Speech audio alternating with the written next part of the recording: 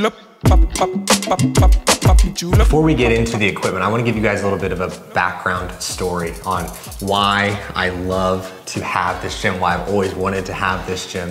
And it goes back to when I was a kid. When I was a kid, I wanted to have a barn that was a playground for uh, all things sports related. I wanted to have a, a turf area for football. I wanted to have a batting cage uh, for baseball. I wanted to have this weight room as a corner of it. I wanted to be able to do all my favorite things in one central place. And now I've got to actually pay the bill. When I was a kid, it was all free in my mind and it was super easy to get all of it. We initially got the gym equipment when we everything happened with COVID. That's when it all started. One of our, our big whys into getting the gym equipment was, was because we were filming the uh, exercise executions that you guys have seen hundreds of and we were having to go into gyms late at night when they were closed and then pay for the space and then also trying to be energetic at 10 o'clock at night after a full day of work just wasn't the best scenario. Getting the space for our own space was going to be something that was very important to us, an investment into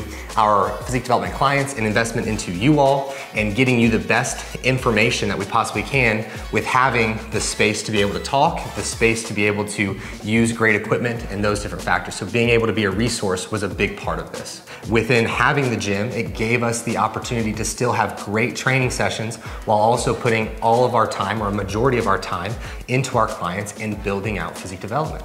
And so it was a great resource to us to still maximize our health because many times individuals when their coaching businesses grow their health goes by the wayside and you see them really lose themselves in growing the business because they don't have the resources to still train or going to that public gym is just too much time commitment. They run into their clients. They're still working while they're not wanting to be working and training it's not a fun scenario. And so having it here was a massive plus to be able to just hop out of my office, take some pre-workout, jump in the gym, jump back out and get right back to work.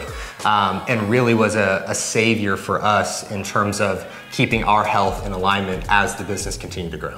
Yeah, and his passion for the gym equipment was very helpful for me because if you would have told me at the time that we ordered all of this, like pick what gym equipment you want, I really wouldn't have known exactly where to start. And I was honestly a little bit against having a home gym because I had never had great home workouts. And I was really equating just the workouts I was getting with bands or with limited equipment to what it would be like to have a home gym. And I had also really enjoyed the gym environment because I felt like I had a hard time when it came to mentally switching to now I'm going to train because we do work at home. So I felt that it was gonna be hard to get into the training mindset.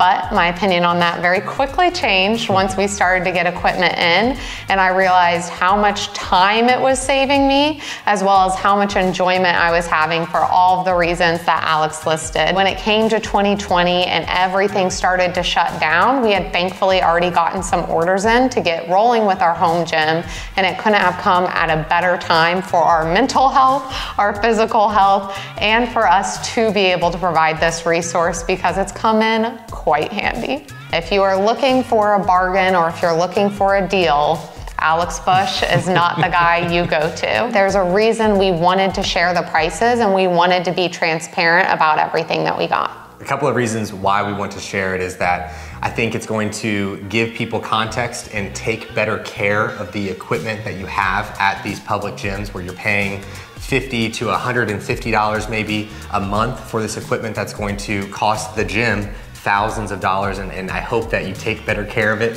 when you see the prices maybe of the things, as well as the individuals who are maybe wanting to build out their own home gym. And then also the other individuals who um, maybe just want to save up and also you know build out the gym too. So I'm excited to share that all with you guys and uh, take you into my beautiful, our beautiful gym space. I still call it my. if you have not already, and I, I already see you, I, I see you, you haven't subscribed to the channel. You need to subscribe to the channel. You need to like this video.